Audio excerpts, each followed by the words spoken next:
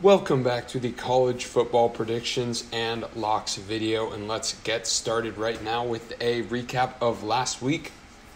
We went three and three, and none of our over unders changed, so we had a pretty even week. We're still down 90 bucks, so we'll hope to get that back this week with a loaded week, and I think we have the most locks we've ever had.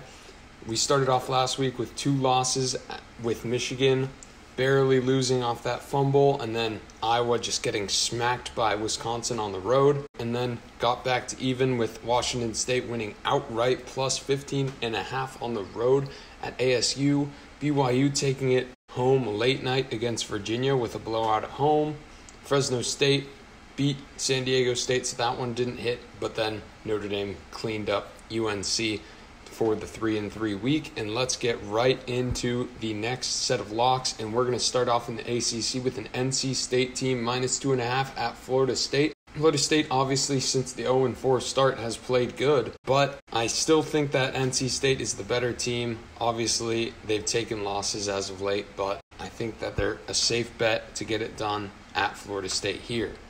Next up, we move into the SEC. Mississippi State is the hot team right now against the Arkansas team that is coming off a bye week and hasn't really played a real opponent in a couple weeks. Obviously, the loss close to Ole Miss, but Ole Miss has gone down in the recent weeks. So I think hot Mississippi State team should be a safe cover, even on the road, plus five and a half.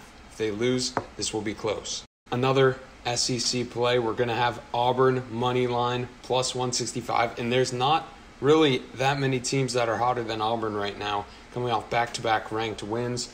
Obviously, Texas A&M has been hot in their own right. They haven't surrendered a loss since the one to Mississippi State, but I think Auburn will come in to Kyle Field and take care of business. Next up, we have Big 12 action. Baylor minus six and a half against TCU, and for some reason, Vegas just does not respect Baylor at all. They don't respect their win over Oklahoma State or BYU. And so I'm going to take them minus six and a half at TCU. Obviously, this is a big rivalry game, but TCU is just an abysmal opponent. They've gone nowhere but downwards in their recent weeks, and I think Baylor should be safe to win by at least a touchdown in this game.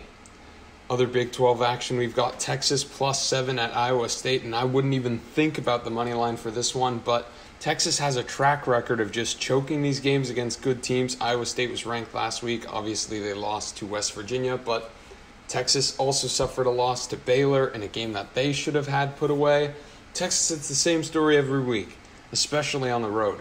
They'll get up early and then they'll surrender the lead late and they'll lose very close. So if they do that again, we'll cover. And let's move on to Wake Forest against UNC. We're going to take Wake Forest money line. I know this this line is rapidly moving in UNC's favor, so we could get some good value on this one. No one is respecting Wake Forest, and you know they're not that good of a team as the AP poll has them eighth. I think that will change when the College Football Playoff Committee gets their hands on them. But UNC is just not that good of a team, and we're going to continue fading them this week with the money line play for Wake Forest. Next up, Tennessee at Kentucky, and Kentucky is a team that's gone downhill in recent weeks. Obviously, Tennessee hasn't won every match they've played going down the stretch here, but I think they're a better team than this Kentucky team overall, even if they don't have the wins to show for it, and they should be a safe cover plus three and a half on the road.